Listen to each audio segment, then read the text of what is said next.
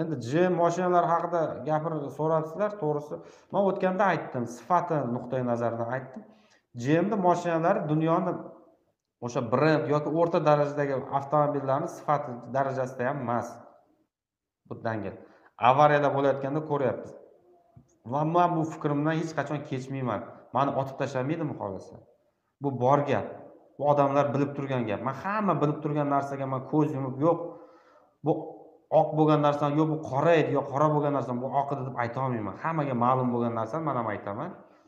Gmni mashinalarini sifat masalasida savol juda yam ko'p.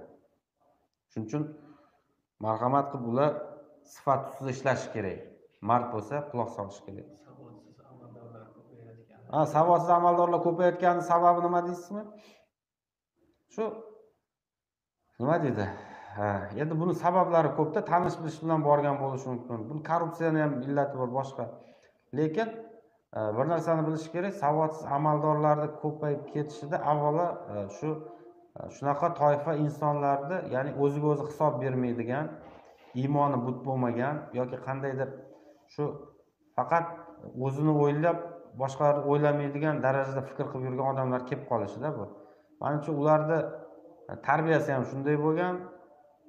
Э, dunyo atrofida ham shunaqa odamlar bo'lgan. И shu yo'l bilan kelib qolgan ular. To'g'risi? Unaqalar ko'p to'g'risini aytsam. Lekin hozir birdan o'zgarish bo'lmasa kerak. Buni sabablari ko'p. Mani ham bitta ikkita aytganim bilan bir narsa bo'lib qolmaydi. Lekin biz doimiy ravishda o'zimizni munosabatimizni bildirib borishimiz kerak. Qaysiki amallar savodsiz o'zini o'rniga munosib bo'lmaydigan bo'lsa uni betiga aytishimiz kerak. Og'ayni san munosib emassan joyingga san misol uchun bu joyni bo'shatib qo'yishing kerak. Man masalan ekologiya sohasida hech qachon qoniqmayapman. Oxirgi vaqtlarda masalan ekologiya qo'mitasini raisini o'zidan ham faoliyatdan qoniqmayman va bu odam oxirgi harakatlarini natijasida umuman e, ekologiya yo'nalishida daraxtlarni ommaviy kesilishidan tortib hayvonlar otilishigacha bu odam shunday kuzatib bu qonunda borku o'zi deb indamay chetga chiqib turishi va qonunda shunga shuni otib tashlalaring kesib tashlalaring deyilmagan. Tanlov ruxsat imkoniyatini o'sha ekologiya qo'mitasiga bergan. A qo'mita raisi shunda hammasini kuzatib o'tiribdi. Man misol uchun shu odamni hozir o'zini o'rniga qanchalik munosib degan savolni hozir ham qo'ygan bo'lardim. Hozir ham qo'yaveraman. Man uni munosib deb bilmayman shu o'rniga to'g'risi xafa bo'ladimi boshqa chunki ularni harakati shuni ko'rsatib beryapti. Qayerda qarama daraxt kesish. Qayerda qarab anavi hayvon ovlash boshqa. E bu qo'mita raisida bir qanaqadir bir iroda bormi o'zi qat'iy turadigan bir vazir degan odamda endi bu ham bunday aytganda sal turib e kechirasizlar bu mamlakatni kelajagi uchun ekologiya shu hozir man mas'ul odamman. Man bunga rozi bo'lolmayman man qat'iy qarshiman. Yo'q man yo'q deyman deb nimaga turmaydi shu odam? Mana masalan mana savol. Turmayapti. Lekin ertaga besh o'n yildan keyin shuni asoratini ko'ramiz. U shundoq ham o'zi mana toshkent shahar misolida ko'rsak daraxtlarni ko'ryapsizlar qancha kesilib kamayib ketayotganini qurilish bahonasi shu yerda ham qurilish. Qurilish bahona qancha daraxt kesib yotibmiz xohlagancha yana nima emish yozgi kuni daraxtlarni olib ko'chirarmishda bir joyga. Go'yoki shu bilan masala ham. A yozgi kuni ko'chirding degan u o'lib qoladiku u. O'zi boshqa paytda ko'chat ekib uni anavi ko'kartirib olish muammo bo'lib yana katta daraxt ko'chirib qo'yarmish shu bilan ko'kararmish. Bo'lmagan gap. Bu ertaga boshqa birovga aytish kerak. Shunga ekologiya qo'mita raisi shunga bemalol ko'z yumib o'tiribdi. Mana shu odamni faoliyatiga bahoda bu.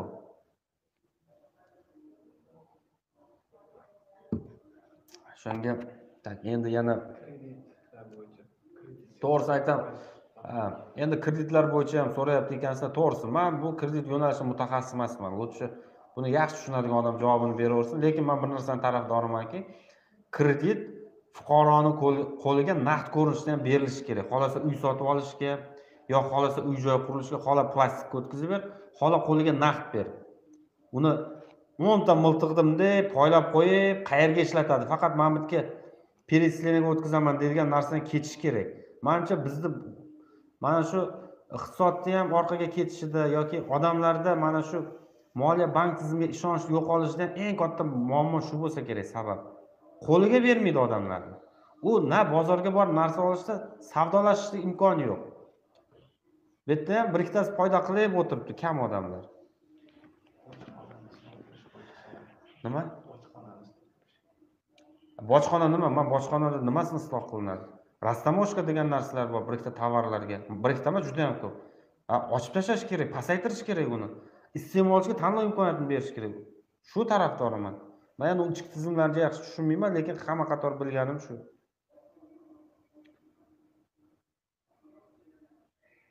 kimdir chiqib kelsam maylimi deb hojatga chiqib kelaversin to'g'risi u qiyin emas yana aeroportdagi biletlar qimmatligi haqida bu ham monopoliya bo'lgani uchun qimmat. Monopoliya yo'qolmas ekan arzon bo'lmaydi. Yana ikkita savolga javob beramiz to'g'risi. Yana shu bilan shu bilan manimcha anaqa qilsak kerak.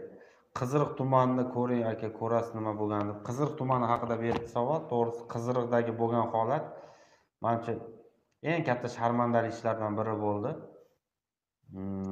Qiziriq voqeasi ya'ni qiziriqda fermerlarni yerlari qonunga zid ravishda olib qo'yilishi bu nafaqat o'sha qiziriq tumani yoki surxondaryo viloyatidagi amaldorlar e, huquq muhofaza qilish idoralarini qonunlarni oldidagi ojizligini balki e, mana shu mm, o'zbekiston rahbariyatini olib borayotgan islohotlarga ham soya soldida to'g'risi. Shu yerdagi amaldorlar qo'lidan qonuniy yo'l bilan fermerlar bilan ishlash kelmasligini ko'rsatdi. E, birinchidan jur'atsiz ekan u yerdagi odamlar. Ikkinchidan qonunlarni bilsa ham amal qilmas ekan. Kim nima topshirdi shuni qilaman deb o'ylar ekan. Aslida har bir topshiriqni qonuniy yo'l bilan bajarish imkoniyati bor. Lekin buning uchun bilim kerak va odam sal o'zini qiynab ishlashi kerak. Lekin uni xohlashmas ekan. Shuning uchun man hozirgi surxondaryodagi o'sha amaldorlar bunaqa dunyoqarashli amaldorlar bilan bir u yerda normal natija bo'lishiga to'g'risida juda katta shubham bor. Mayli bo'lib ketsin yurishib ketsinku lekin u yerda juda ham o'zini ishiga noloyiq odamlar juda ham ko'p o'tiribdi. Shu u surxondaryoni nima deydi odamlarni peshonasiga shunaqa yozilgan ekanda shunaqa amaldorlar shuning uchun e, nima deymiz? Ну endi insof berib qolar ularda ham kuni nima deydi doimiy emasku baribir o'tadi ketadi hammasi lekin o'tgan vaqt uchun avvalo vijdonni oldida и odamlarni oldida javob berish degan narsa bor. Mana shu yerda qancha fermerni norizo qilib qonunlarni oyoq osti qilib ishlashdi lekin to'g'risi. Man bormoqchi bo'ldim necha marta. Har xil yo'llar bilan chiqib borishga ham anavi xalaqit qilishdi lekin to'g'risi. И e, to'g'risi gap yo'q u surxondaryo masalasida. Hozirgi amaldorlari bilan bir natija bo'lishiga man ishonmayman. Bular qaytanga o'zbekistonni dunyoga sharmanda qilish olib borilayotgan islohotlarga soya solish bilan shug'ullanadigan odamlar. Uch ular ishlamasa ham manimcha nima deydi ancha yaxshi bo'lib ketsa kerak. Shular просто bo'lmasa ham shu yerda besh oltitasi bor shu shular nima qilmasa manimcha odamlar o'zi ham eplab oladi. Endi nima deymiz endi shunaqa odamlar peshonaga yozilgan ekan endi nechuk vaqt o'tguncha ozgina chidash kerak. Endi e, bizni qo'limizdan ularni olib tashlash qo'ldan kelmaydi. Lekin aytyapmanku eng nomunosib o'sha boyagiday toifa insonlar bo'lsa shuni ko'pchiligi shu yerga yig'ilgan. Yig'ilgan. Afsuski surxondaryoliklarga sabr tilaymiz endi boshqa iloji yo'q. To'g'risi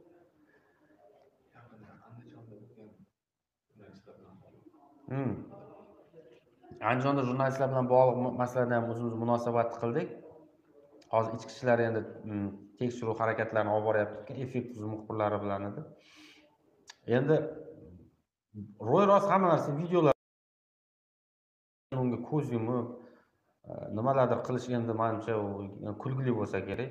Eng qizig'i man kechami bugunmi bittasini videosini ko'rdim intervyusini shu yerda andijonni e, shahar kengashini kotibiyatini mudiri pansiyaga yotib olibdi mani давлением ko'tarilib ketdi mani madaniy yo'l bilan haqorat qildi bular deb. Man tushunmadim haqoratni madaniy yo'l bilan bo'lishini hech eshitmagan ekanman.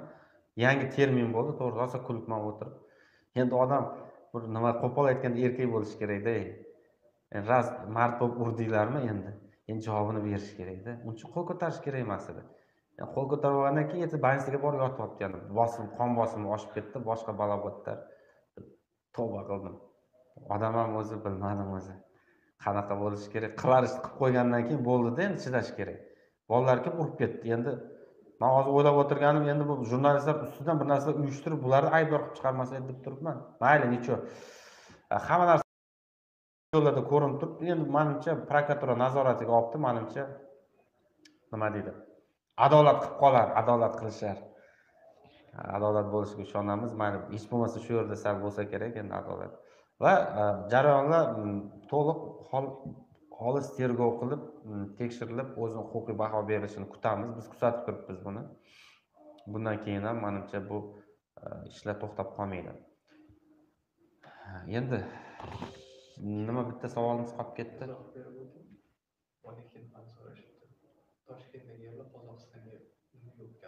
Ha endi to'g'risi buni e, izohi e, man bu ancha yillar oldin bo'lgan ekan.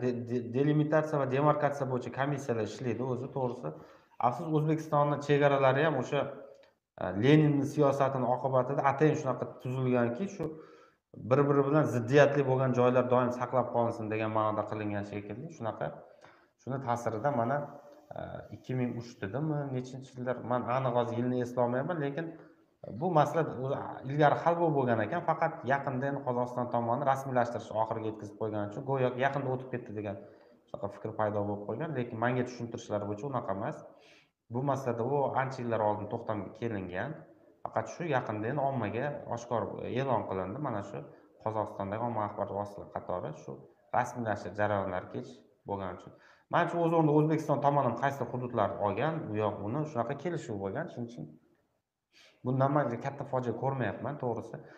Agar uni aniq izohini bilmoqchimiz deydigan bo'lsa manimcha kadastr agentligiga bitta murojaat qilinsa ular aniq nuqtasini qachon nima bo'lganini hammasini keltirib beradi. Uzmga aymiga munosabati bu havodan pul ishlashda bo'ldi все boshqa nima deymiz.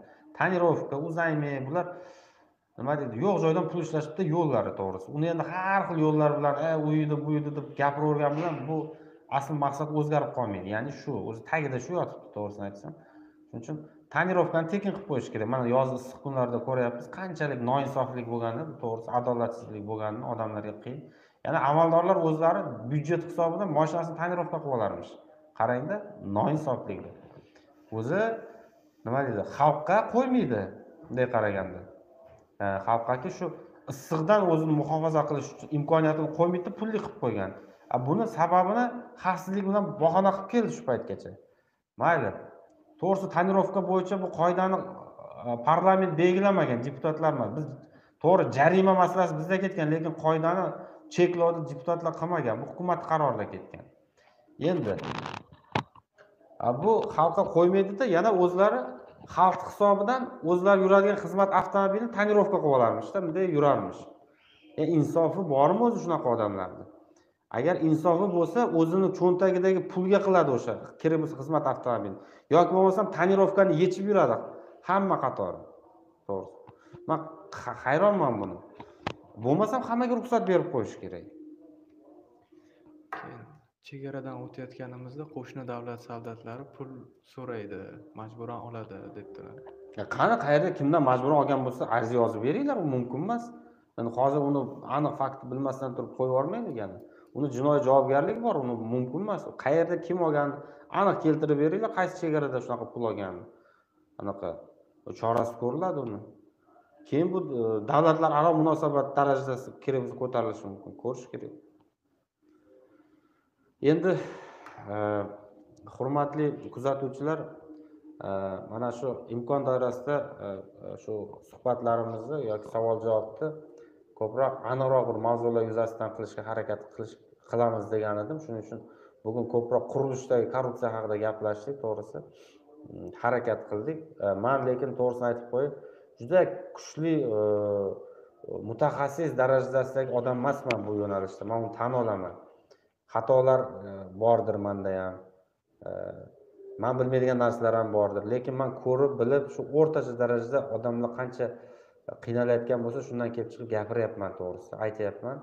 Va faollikka chaqirib qolyapmanki sizlarni befarq bo'lmanglar iltimos atrofinglarda bo'layotgan hodisalarga e, jarayonlarga e, munosabat qilinglar uyg'oqroq bo'linglar talab qilishga o'tinglar.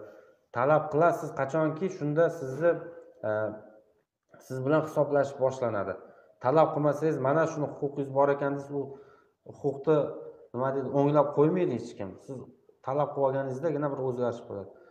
O'ylaymanki mana shu qurilish borasidagi mana e, narx navo e, sifat masalalarini joyiga qo'yib oladigan bo'lsak manimcha joylarda muammolar ham ancha kamayadi odamlar ham ancha roziligi oshadi.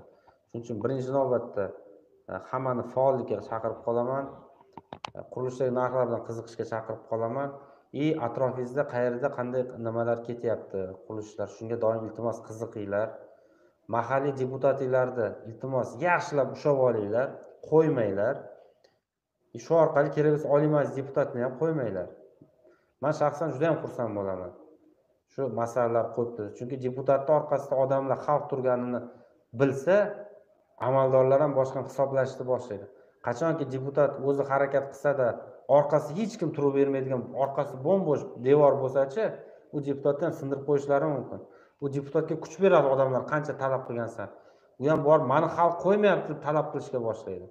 Shuning uchun sizlarni bu harakatinglar deputatlar uchun ham e, kuch quvvat bo'lgan bo'lardi. Qisqacha gaplashmoqchi bo'lganlarim shulardan iborat.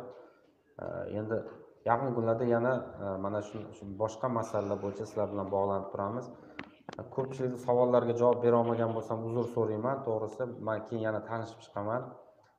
Iltimos qaysi ma'nodaki hozir shunaqa majburiyat qo'yilgan.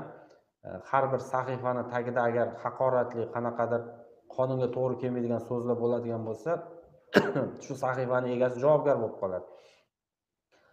Agar iltimos agar mana javobgar bo'lib ketsin yoki qanaqadir e, huquqbuzarga aylanib qolsin demasanglar agar qanaqadir shu haqoratli aytmasam bo'lmaydi degan gapinglar bo'lsa o'zimni shu facebookdagimi или boshqa lichkamga yozib yuborishga harakat qilinglar o'zimga e, ommaga muhokamaga qo'yilmaydigan imkon bo'lsa ozgina tiyilsak shunda yaxshi bo'lgan bo'lardi.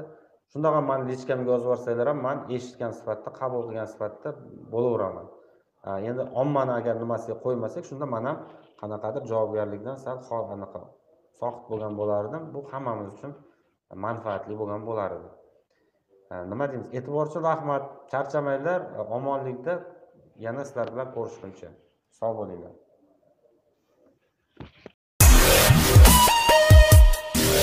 Yeah.